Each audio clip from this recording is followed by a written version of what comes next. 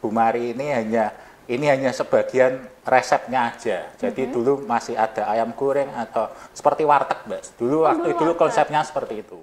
Saya benar-benar produksi sendiri semua dengan istri. Hari ketiga buka restoran, istri saya sudah menyerah. Dalam arti, udah ditutup saja. Karena tidak kuat. Dulu saya sampai dipanggil babinsa, orang kelurahan, karena membuat macet kampung waktu itu kan saya memang bukanya di kampung di Sisingamaraja.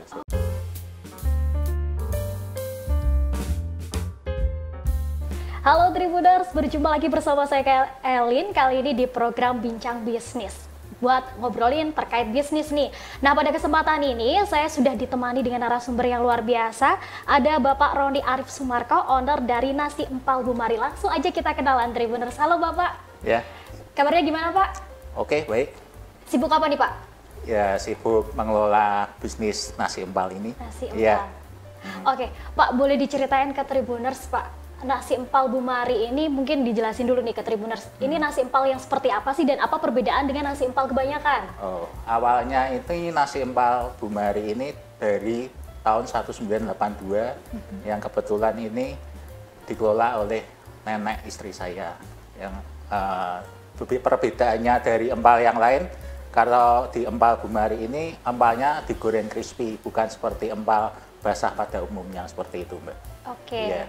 Berarti ini resep turun temurun bisa dibilang kayak gitu nih. Ya awalnya kita nggak sengaja menemukan buku resep Bumari yang sudah nggak ada itu. Nah kita temukan, eh, kita coba ke teman-teman, mereka responnya positif.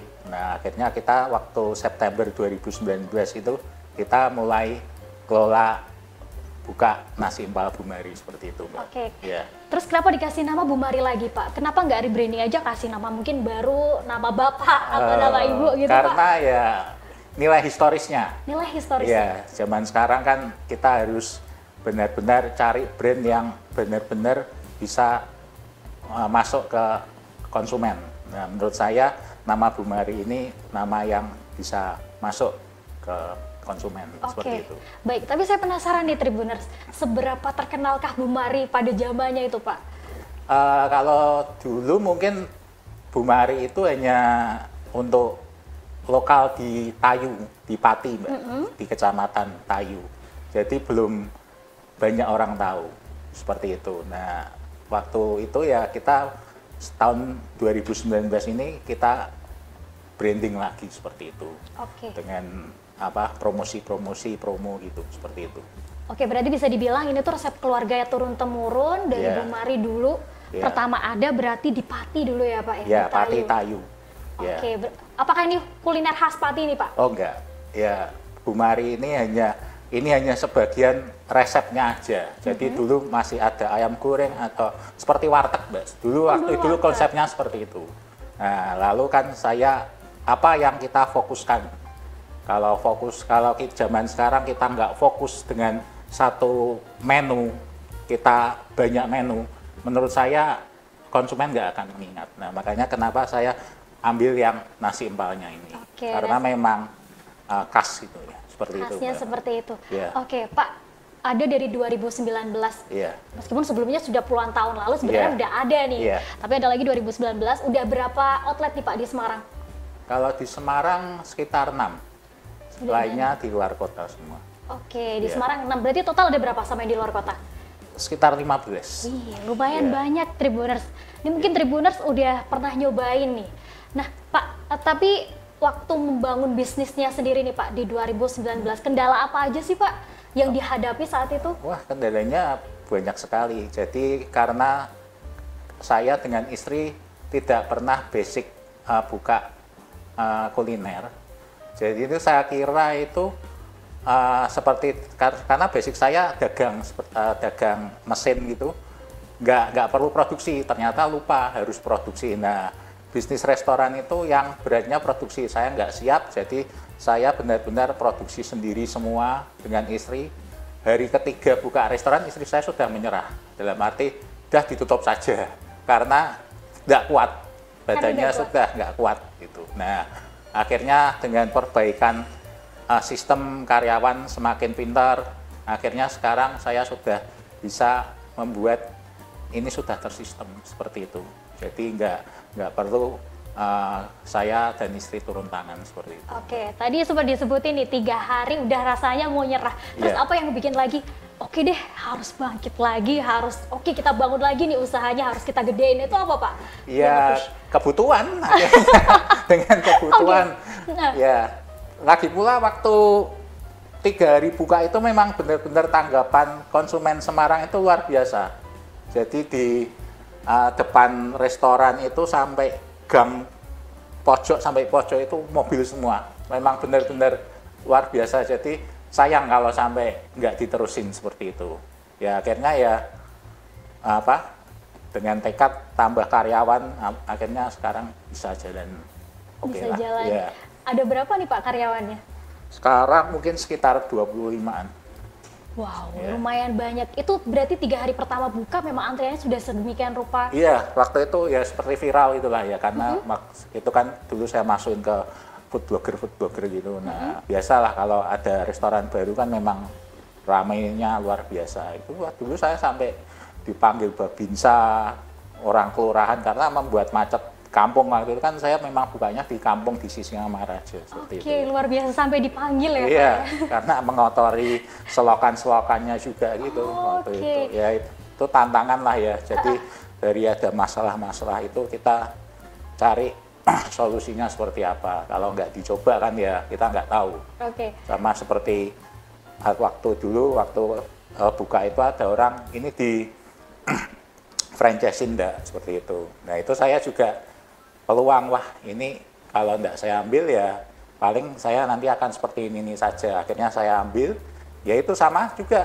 Waktu, waktu cabang pertama ya banyak masalah uh, rasa tidak sama. Nah dari situ kan kita tahu apa yang perlu kita perbaiki, apa masalahnya seperti itu. oke luar Iya. biasa. Menemukan menemukan berbagai masalah, Iya. akhirnya buat evaluasi, Iya. kemudian untuk eh, berbuat lebih baik lagi gitu ya, Iya. memperbaiki produk, Iya. kemudian pelayanan juga. Iya sistem semua Sistem seperti itu. Baik, Pak. Di tiga hari pertama buka itu, saya pasti penasaran nih, Iya. Tribuners. Itu berapa porsi Pak yang laku? Mungkin sehari mungkin bisa 200-300 porsi, makanya itu benar-benar kewalahan sekali seperti itu. Karena waktu itu ya semua kita handle sendiri, eh, sampai buat sambel apa kita ngulek sendiri. Kalau sekarang kan sudah mesin semua seperti itu. Ya semua bisnis ya harus dari kecil lah ya. 200 porsi berarti banyak banget nih ya Pak ya di tiga hari pertama ini. Terus Iya. saya penasaran nih Pak, satu porsi nasi empal bumari ini sendiri komponennya isinya apa aja sih Pak sampai ini antusias nggak mungkin pada datang kalau nggak enak Pak. Iya. Isinya apa aja nih? Iya isinya pasti empal, nah s- itu telur, kering tempe, soun, tahu seperti Soun, itu. tahu. Iya, Oke. seperti itu. Kalau itu yang spesial, kalau yang biasa ya cuma nasi sama empal aja. Tapi kebanyakan orang ambil yang spesial gitu. Yang spesial. Satu Iya. porsi harga berapa Pak? Mulai dari Sekarang tiga puluh ribu. 30.000 Iya. satu porsi. Iya, Tapi cukup banyak lah ya tadi komponennya ada empal, ada nasi, kemudian ada bihun. iya. dan masih banyak lagi Tribuners mau di- dicoba sih terdekat dari Tribun mana ya Pak? Mungkin Tribuners lagi main depan kantor Pringgading itu ada di Pringgading. Kalau punya saya sendiri yang di Sisingamaraja, Oke. ya, yang It- awal itu. Oke, itu buka dari setiap hari kah? Setiap hari dari jam 8 sampai jam 8 seperti itu. Oke, Pak. Tadi bangun bisnis dari 2019 sampai hari ini punya banyak mitra nih. Mungkin Iya. Tribuners yang ingin memulai bisnis, pengen bekerja sama. Apakah bisa nih Pak bermitra dengan Pak Eh, Bumari ini bisa, Pak? bisa. Eh, ya kita memang membuka kemitraan eh, untuk di dalam Semarang atau di luar Semarang sih seperti itu. Kebetulan kan sekarang kalau yang di luar Semarang ada di Jakarta, Bekasi, Purwodadi, Pati, seperti itu sih. Oke. Iya. Caranya gimana nih Pak? Kalau misalkan ingin bermitra, ribet nggak? Harus setor KTP nggak nih Pak? Eh, Setor duit lah, setor duit. Aduh ya. dan menyediakan tempat, terus nanti apa peralatan dapur dari kita, terus nanti kita training karyawan mereka, terus nanti semua apa bahan baku dari kita, seperti itu. Oke, berarti cuma nanti tanda tangan kerjasama. Iya, tanda Setelah tangan itu kerjasama. semua alat, kemudian Iya. training karyawan Iya. juga dari bapak nih ya. Ya dari saya. Oke, kemudian eh, kalau ini Pak, saya penasaran juga dengan sistem promosinya begitu luar biasa ketika dibuka uh, tiga hari pertama itu bapak promosinya kenapa memilih uh, food vlogger yeah. seperti apa kenapa kenapa nggak menggunakan mungkin media konvensional seperti TV atau radio atau yang lain pak uh, karena sekarang lebih banyak orang ke medsos ya jadi uh, saya pun uh, kalau dari saya pribadi saya nggak bisa main medsos jadi mm -hmm. saya hire orang untuk medsos seperti itu untuk admin medsos Uh, biasanya ya kalau pembukaan ya kita panggil food blogger, terus nanti kita ada promosi gratis nasi empal seperti itu. Jadi untuk menarik orang datang itu seperti itu. Oke, strategi promosinya sendiri Pak 2019 sampai 2024 loh Pak. Ini yeah. waktunya nggak bisa dibilang singkat belum lama juga. Iya. Yeah. Cuman uh, apa namanya har, apa namanya masih bisa bertahan gitu dan sampai ada 15 outlet. ya, menjaga kualitas.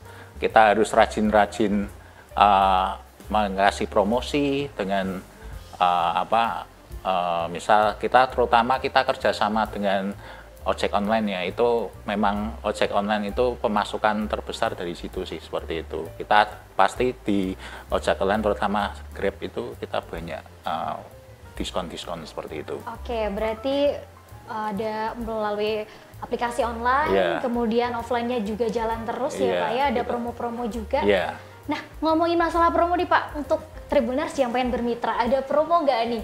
Mungkin potongan-potongan dikit gitu Iya, kalau potongan sih ada nanti bisa. Kalau uh, apa lihat di Instagram nanti ada kontak saya untuk uh, apa menghubungi saya nanti ada potongan sih. Kalau untuk potongannya berapa masih rahasia. Rahasia. Ya. Hubungin bapaknya dulu. Iya. seperti itu. Oke, tapi paket usahanya ada beberapa paket gitu Pak atau cuma satu aja nih gelondongan udah gitu? Iya, satu aja. Satu aja. Iya. Tadi uh, dapat apa aja Pak? Bisa diulangi lagi mungkin Tribuners tadi belum nyatet nih. Uh, dapat peralatan dapur, hmm. terus training karyawan, nanti seragam, pendaftaran ke ojol itu dari saya semua. Oke. Seperti itu. Persyaratannya Pak? Uh, tempat, terus sudah uh, ya uangnya pasti ya uang sudah okay. ada okay. seperti itu tempat tapi ada kriteria khusus gak harus di tengah kota harus oh, luas gedungnya sekian sekian enggak sih bebas sih Oke, okay, bebas ya berarti ya, tapi jangan di dalam gang sempit gitu. Saya malah yang nggak mau. Kasihan nanti. Kasihan customernya. Yeah. Karena yang antri pasti banyak Tribuners. Yeah. Saking terkenalnya Pal yang satu ini. Yeah. Oke. Okay. Kemudian Pak, kalau keuntungan dari bermitra sendiri, ini apa nih Pak yang didapat? Uh, ya bahan pasti kontinu, uh, rasa dengan semua outlet sama, uh, lalu tiap bulan pasti nanti saya promosiin di portal-portal uh, berita, foodgram nanti saya panggilin tiap bulan juga seperti itu. Jadi nggak nggak uh, you mitraan sama saya terus bye bye saya nggak ngurusin nggak pasti tiap bulan ada follow up seperti itu. Oke. Okay terus ada menu-menu baru apa nanti kita ada terus gitu. Jadi buat tribuners nih yang mungkin ingin bermitra ketika udah tanda tangan, udah mulai berwirausaha nggak langsung dilepasin ya Pak ya, ya masih pasti. masih dimonitor, ya. kemudian nanti ada follow up follow up ya. mungkin. Kemudian masalah cita rasa juga masih dimonitor terus ya Pak? Iya, jadi saya tiap apa uh, tiap minggu sih saya ngecek itu dengan saya beli ke ojol di cabang ini gitu. Nanti coba di cabang ini gitu. Jadi rasanya sama atau enggak seperti itu. Okay. saya ceknya seperti itu. Oke nih pak. Ya. kemudian kalau buat tribuners nih yang hmm. ingin memulai bisnis kiat-kiatnya harus dilakukan apa aja sih pak? Uh, kalau saya sebagai pebisnis saya juga masih belajar mbak. Jadi saya kalau prinsip saya ini saya mulai bisnis itu saya nekat dulu dari nekat itu nanti kan kita pasti menemukan masalah. Nah, masalah ini mau gimana? Kita mau terus atau berhenti? Nah, nanti kan ada berhasil atau gagal ini. Nah, kalau berhasil ya untung, kalau gagal ya kita dapat pelajaran. Udah itu aja. Daripada kita nggak jalan. Nah, kata kita nggak jalan ini kan kita pasti ya gagal. Seperti itu. Jadi saya ini prinsipnya kalau saya ini orangnya nekat, Terus satu lagi, saya ini orang yang harus harga diri tinggi. Ya, itu penting, Mbak. Kalau kita hidup itu kita harus punya harga diri yang tinggi. Harga diri yang tinggi bukan berarti kita sombong ya. Jadi kita harus jangan mau kita direndahkan sama orang, kita kita apa dilecehkan sama orang, jangan mau. Nah, kita harus membuktikan kalau kita ini mampu seperti itu. Oke, harus Ya. membuktikan Yeah. mampu dan juga jangan lupa nekat Tribuners. Kayaknya Yeah. itu yang bikin bapaknya berhasil. Ya. Oke, terakhir Pak, kalau Yeah. buat Tribuners yang pengen bermitra harus ngubungin ke mana nih? Kalau mau tanya-tanya juga. Eh, ya di Instagram resmi ada, di TikTok juga ada kontak saya, nanti bisa menghubungi saya seperti itu. Mbak. Instagramnya namanya apa Pak? Nasi Empal Bumari. Nasi Empal Bumari. Iya. Bisa dicatat Tribuners, mungkin Tribuners ingin memulai bisnis bersama bermitra bersama Empal Bumari bisa langsung hubungin, tanya-tanya boleh ya Pak Oh ya? boleh sekali. Boleh sekali. Iya. Terima kasih Bapak atas Sama-sama. waktunya Iya. sudah hadir di acara hari ini. Iya. Sehat selalu dan juga semoga Ya, sukses selalu Oke, usahanya. ya terima kasih. Terima kasih. Iya. Oke, Tribuners itu tadi bincang bisnis kita hari ini. Terima kasih sudah menyaksikan program kali ini. Saya Elin pamit undur diri dan sampai jumpa.